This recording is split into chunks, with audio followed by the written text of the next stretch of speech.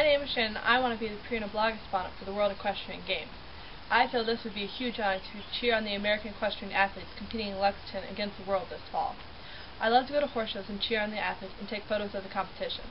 I feel that if I was the Purina blog correspondent, I'd be able to make everyone reading my blog feel like they were there at the World Equestrian Games with me. Here are some photos that I've taken of horse shows that I've been to in the past